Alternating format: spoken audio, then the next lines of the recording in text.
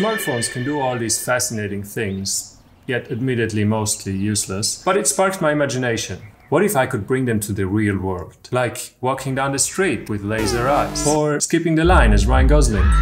So, after a bit of thinking and a couple of prototypes, I decided that the best and still cool looking way forward would be to put this, this, and this into some sort of a helmet device. And this, and this, and this, and all of this. By the way, I also made a complete crowdfunding campaign for it, including a professionally made promo video. I'll add the link below and at the end of this video. Still can't believe it failed. Couldn't have been the price, could it? So let's take a look at what my ultimate goal was. I wanted what's on my phone to appear in front of my face in real time. And that immediately presented me with a few challenges. So your phone needs a certain minimum distance from your face in order to understand your facial expressions. And for the projector goes, the further away from the projection, the bigger the image. So mounting it here would result in a teeny tiny image. Now you may be wondering, why did he not use a screen instead of dealing with the typical shortcomings of a projection? I thought about it initially, but then I came to the conclusion that any design with a flat screen would look a bit dull. And maybe now is the time to mention that originally I just wanted to make a costume for a party with the theme Utopia. And I definitely wanted my design to be a bit more dreamy and advanced rather than purely functional. And this is exactly when this project got out of hand. What do you mean? But back to the drawing. The most straightforward housing for a proper result would have to look something like this. Don't know about you, but this looks more dystopian than utopian to me. So after checking out the local craft supply store for something that would serve me as an outer shell and a few experiments with my first full-scale prototype and a very patient girlfriend, It's okay, honey. I love doing things like this. I decided that something like this should give me the best results. The phone in the neck area of the device can see my face from working distance via two mirrors.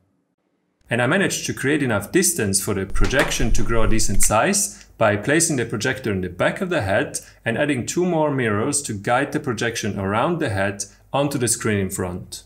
So finally I got to work.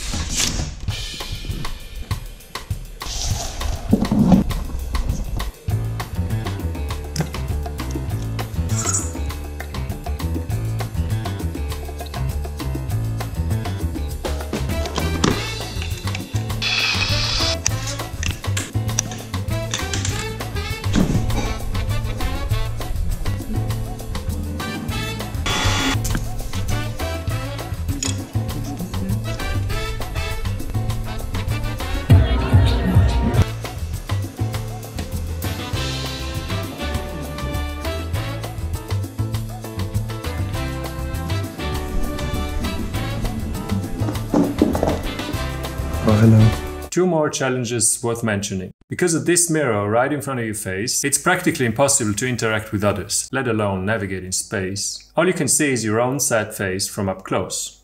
It's pretty hard to translate what it feels like to be inside the mask in a video, but let me give it a try. Note, this is a good friend of mine who used to be the face of my former startup. He told me that he's real sad that we stopped making these type of videos with him in it. So let's grant him this brief reappearance. Oh, that's too kind. You're welcome. Okay, let's give this a shot. It's actually quite irritating to be isolated with just yourself in such a confined space. And putting it on for the first time can be quite an experience. I feel like I'm in space. But I guess just that alone was worth building the thing. Also, if you wonder why I installed this whining fan, once I wrapped the shell around the frame and everything was sealed tight, I noticed that the mirror in front would fog up. And what would any reasonable engineer do in a situation like that? Exactly, throw more technology onto the problem. But back to the original issue, the fact that I was completely blind in there. The, in this case, exceptionally low-tech solution I chose was yet another mirror, to create a type of periscope, much like they use on submarines. I made a fancy 3D visualization of this in the crowdfunding campaign video. I'll add a link below or at the end of this video. So this seemed like a flawless idea, but at this point in the building process I had a revelation. You see, originally I thought of my device as a pure Animoji mask. But what's stopping me from going to the Instagram camera and applying AR filters to my face in real time? But in order to make that work, I had to make some changes. My original mirror setup was too narrow. And in order to get a wider shot of the face into the phone, I needed to switch to a curved mirror. But that meant that my already narrow field of view in the periscope would get even smaller and distorted. I decided it's good enough.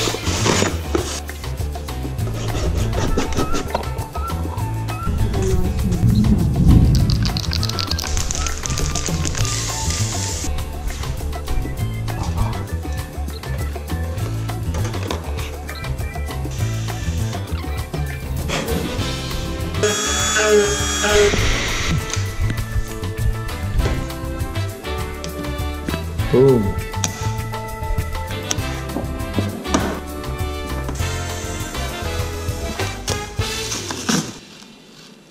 Another challenge was the fact that this well sealed bubble wouldn't allow sound to travel in and out easily.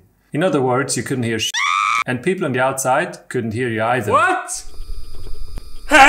Because I focused more on the impression of the device on the people on the outside, I decided to install a microphone connected to a voice changer, connected to a speaker facing outwards, but no hearing aid whatsoever facing inwards. Say something! That's the main reason why you can hear me yell a lot at the actors in the making of of the crowdfunding campaign video. Just try to act better!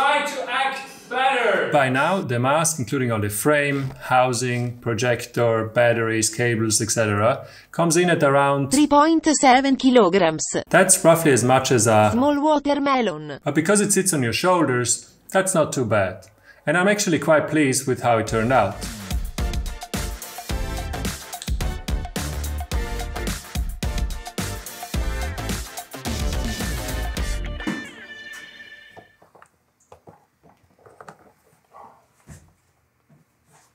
For more mask action, take a look at the campaign video. I'll add the link at the end. And let me know in the comments if you want me to make a version 2 that's maybe more compact, brighter, lighter, and just overall more compatible with everyday use. And also if you have ideas on how to do that.